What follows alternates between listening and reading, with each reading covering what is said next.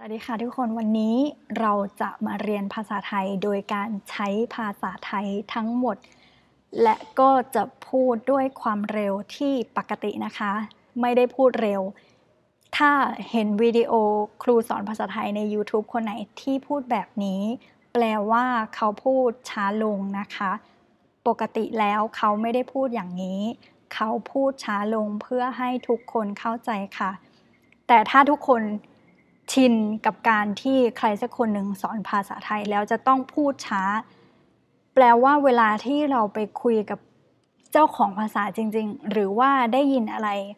ดูหนังฟังเพลง เราจะไม่เข้าใจนะคะทุกคน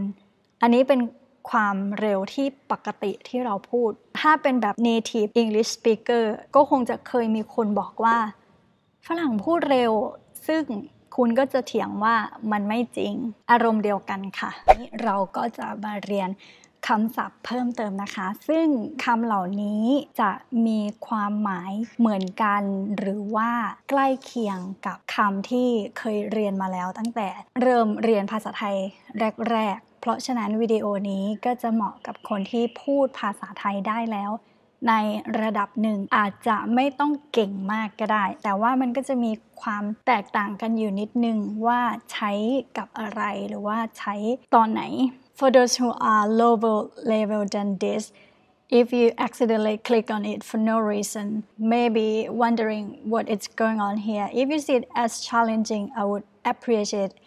and encourage you to watch till the end but if you just click on it and be like what the hell is going on here what are you doing then don't watch it alright เริ่มคำแรกเลยนะคะ คือคำว่า ดื่มคำว่าดื่มมันไม่ได้มีแค่คำว่าดื่มอย่างเดียว มันก็จะมีคำว่าจิบจิบก็จะเหมือนกับซิปในภาษาอังกฤษ แล้วก็จะมีคำว่า ดูด ดูดก็คือการที่ดื่มอะไรสักอย่างโดยการใช้หลอดอันนั้นเราจะเรียกว่า ดูดกิน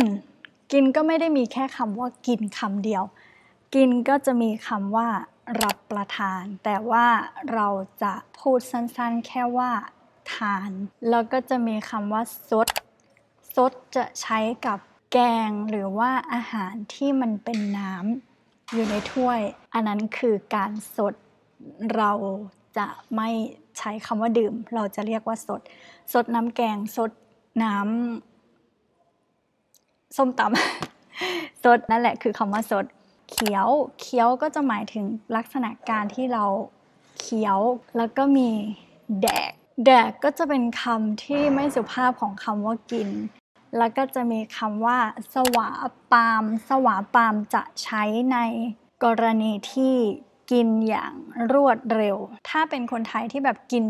มุมมาม กินมุมมามคือกินเลอะเทอะ กินเยอะ กินเร็ว อันนั้นเรียกว่ากินมุมมาม หรือจะพูดว่ากินเหมือนหมู กินเหมือนหมู แล้วก็จะมีคำว่าเลียเลียมันก็จะเล็กในภาษาอังกฤษเลียอะไรได้บ้าง เลียไอติม เออ ไอติม แต่ว่าคำว่าไอติมเป็นภาษาพูด ถ้าเป็นภาษาเขียนต้องสะกดว่าไอศกรีมนะคะคำว่าคิด เออมันก็ไม่ได้มีแค่คำว่าคิด มันมีคำว่านึกด้วย นึกไม่ออกว่าเขาชื่ออะไร ก็มีความหมายเดียวกันกับคำว่า คิดไม่ออกว่าเขาชื่อว่าอะไร มีคำว่าเดา เดา ทุกคนน่าจะรู้กันคำว่าเดาก็คือใช้ความรู้สึกของเราคาดคะเนอันนั้นก็เป็นคำอีกคำหนึ่งคำว่าคาดคะเน หรือจะพูดสั้นๆได้ว่าคาดก็ได้ คาดว่าเขาจะ